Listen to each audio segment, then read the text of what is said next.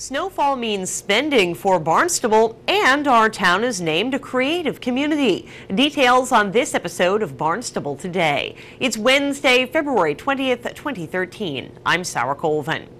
A big blizzard blew through town earlier this month, knocking down trees and piling up snow throughout the town. While things are mostly back to normal here in Barnstable, the bills are starting to come in for cleanup costs. Director of Finance Mark Milne explains that while it may not be possible per to predict spending for snow removal, the town is prepared. Uh, uh, one of the reasons why the town council has a policy reserve where they set aside an amount that's equivalent to 4% of the general fund budget, and which is about $5 million.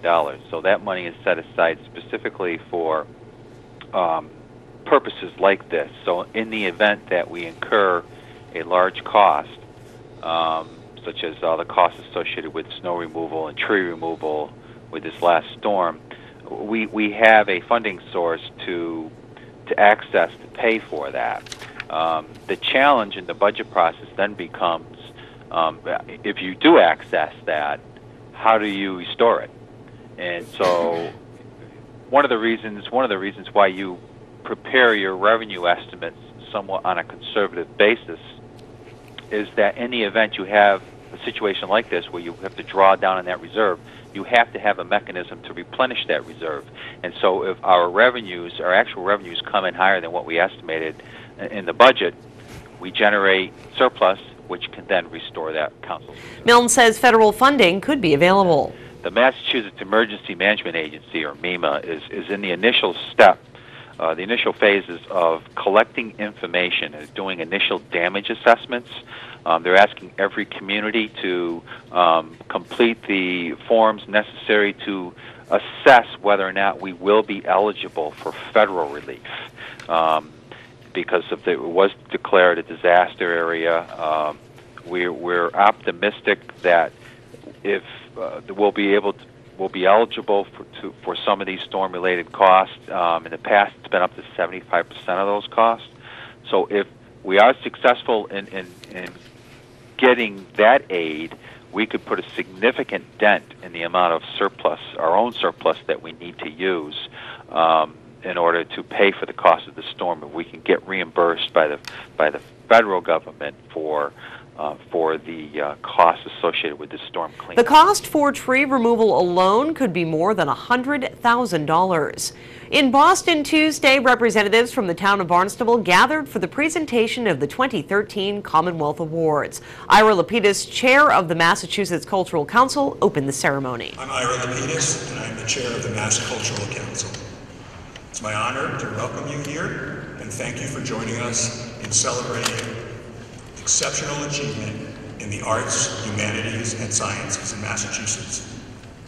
This is truly the highest honor that the Commonwealth bestows.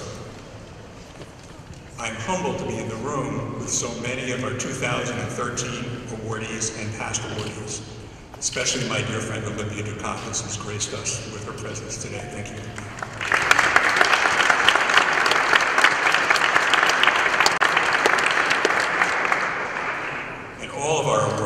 Who've done so much to make Massachusetts so extraordinary.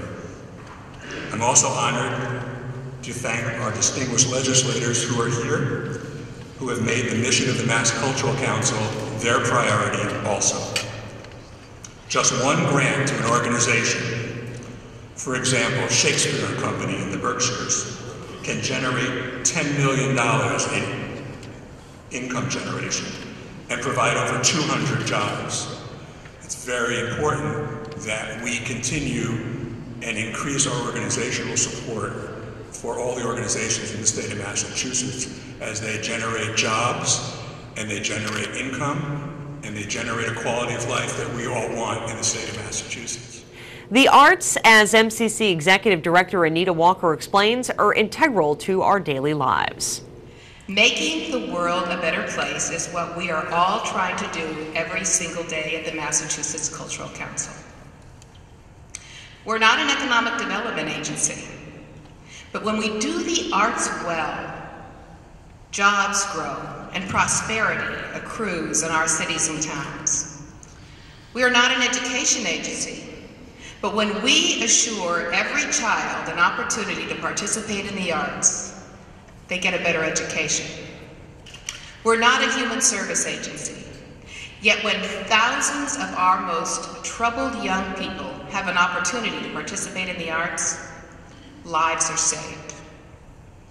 The committed people who do this work do not ride to the office on a white stallion, maybe a blue horse.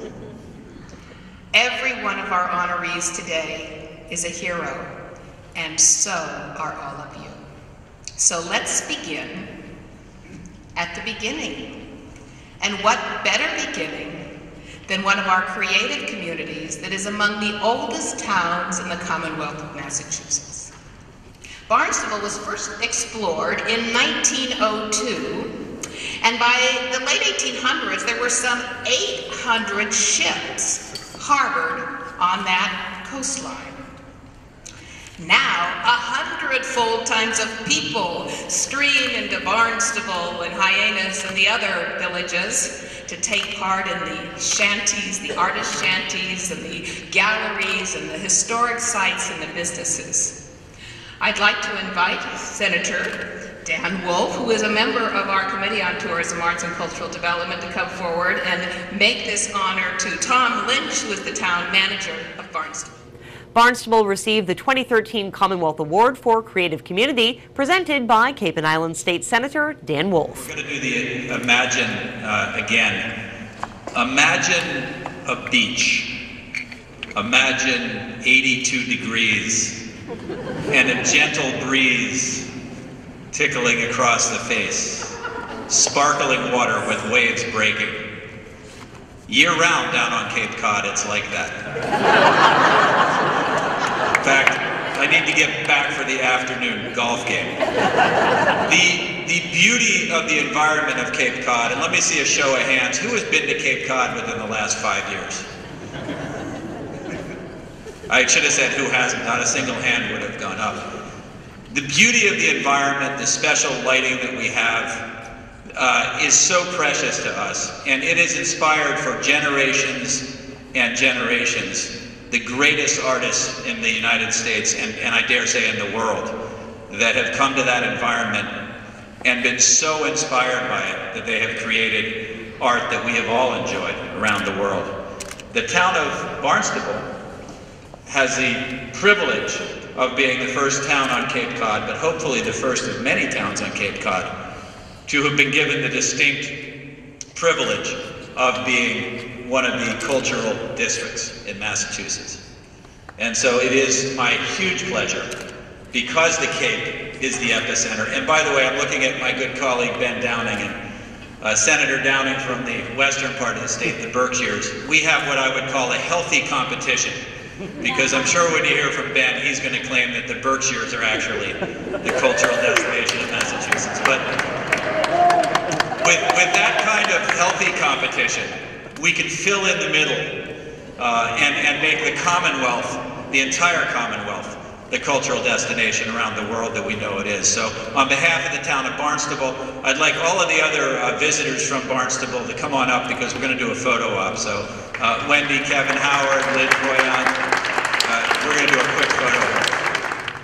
Each year, the MCC recognizes the achievements of organizations, artists, leaders, and philanthropists who've enhanced the arts in Massachusetts. 2013 recipients include, of course, the town of Barnstable, the Boston Phoenix, the Worcester Ecotarium, fellow creative community Shelburne Falls, and Academy Award winning actress Olympia Dukakis. With Barnstable today, I'm Sarah Colvin.